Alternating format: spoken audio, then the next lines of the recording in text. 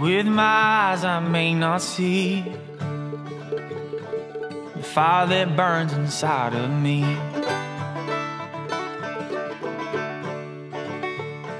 Stand strong, hold on to hope. Just grab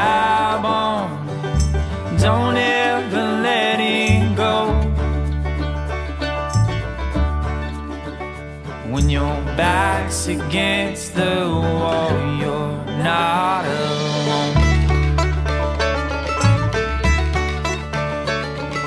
Here now I have been set free. Fear has got no grip on me.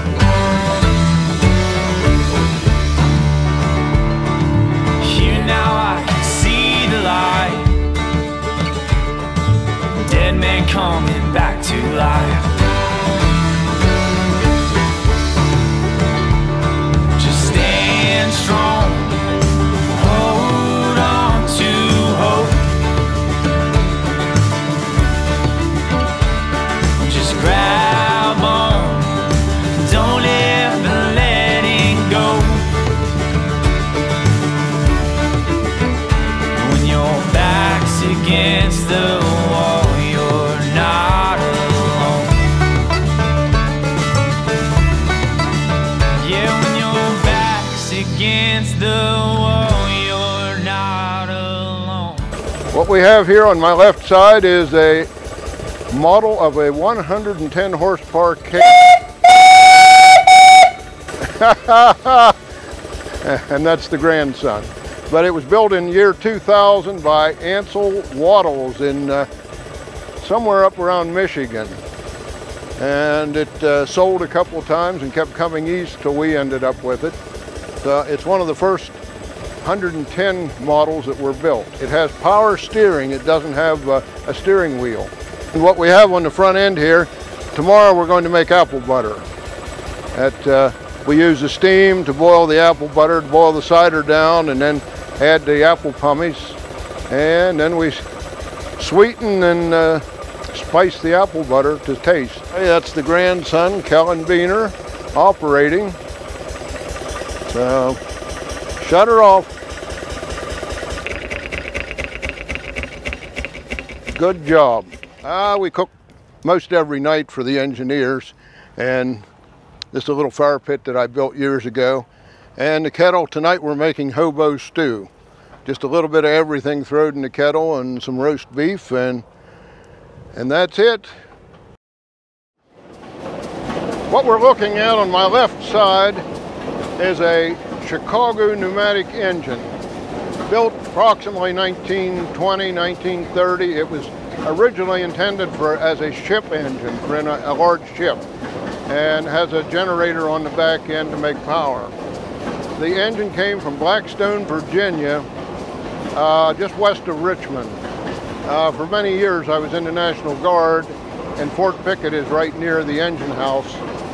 And I got to know the caretaker of the engine house and I'd go in and see him, we'd talk and talk. And one time I stopped, he said, well, your engine's going for scrap. And I told him, not if I can help it. So I came home and got some friends together and we went down and, and saved it. So it's an 800 horsepower Chicago pneumatic and open valve gear on it and probably the biggest one that I know of Chicago. There's some smaller ones, but that's probably the biggest one in existence. On my left is a about 1890 Peerless portable steam boiler and engine. Was used for stationary work like a cider mill or like a uh, threshing or anything like that. And it is the first engine that was here at the Jubilee. And after the family passed on, why I was able to acquire it and uh, hope to keep it here for many years to come. These are Michelle's pride and joy, these two wagons back here. We have uh, three Conestoga wagons here at the show, and two belong to the Miller family, and one belongs to the fire department. The one behind me belongs to the fire department, and the other two belong to the Miller family, and uh, they are original, and they were road wagons. They don't have a seat on them. the teamster rode the back horse in front of them and they hauled from Philadelphia west. And this one back here was built approximately 1830 and this one was built shortly after. Okay, here we have one of our most important things. These young ladies make ham and bean soup, which is a favorite, sold out every time they make it. So they're some of the valuable help. Okay, this stand is where they sell the finished cider. These people are gracious enough to give their lifetime to uh, handle the booth, and it's another favorite, sold out almost as fast as they make it. So, thank you. Thanks, everyone. Cider mill, this is what crushes the apples. This is the, the newer mill that we have. The older mill is behind us, but uh, this mill will make several hundred gallons at a time. It uh, built about 1905. A.B. Farquhar sold them, the company, and they were sold by several different companies, but uh, very nice mill, very nice. This is the old cider mill, was uh, built before 1900, and we've had some problems with it. It's all wood and shakes itself to pieces, so we only use it if we have to, if the newer mill's down. Came from Gortner, Maryland. Uh, can't think of the man's name, but uh, that and the boiler, we'll do the boiler next. This is a Frick boiler. It came with the old cider mill and very good shape. That makes the steam to operate to pasteurize the cider, to crush the apples and do the whole thing.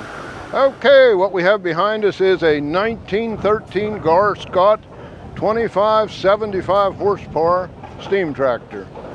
This engine was uh, used originally in Saskatchewan, Canada. And from there, it kept coming east. It was sold to a man in Michigan. And that man sold it to a man in Ohio and sold it to another man in Pennsylvania. And it became in disrepair, and I bought it and restored it uh, about five years ago. My daughter's favorite engine. I thought it was my engine, but uh, she says it's hers. Now, the other way now. Out out with this one and up with the other one. Wait.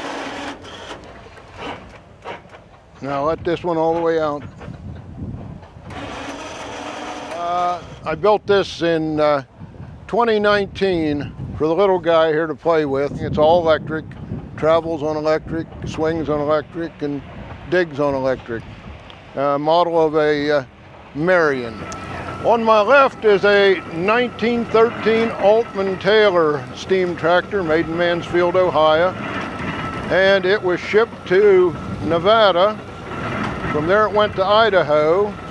And then it was in Spokane, Washington when I got it. It hadn't been restored. The last time it was run was 1961. And about five years ago, I bought it uh, sight on scene it turned out to be a very good engine, very good boiler, and uh, very good condition. Uh, the engine to my left is a 1912 or 13 case, 40 horsepower. Uh, it was used around Brownsville, Pennsylvania, and then sat in a museum, an outdoor museum over there.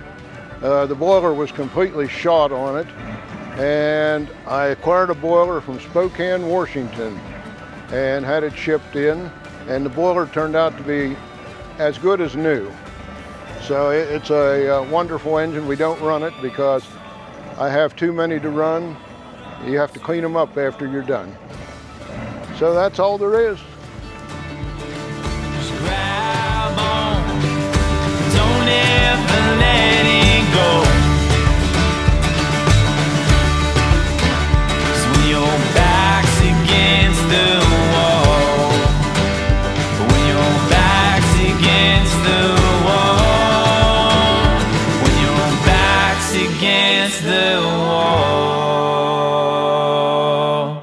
You're not alone.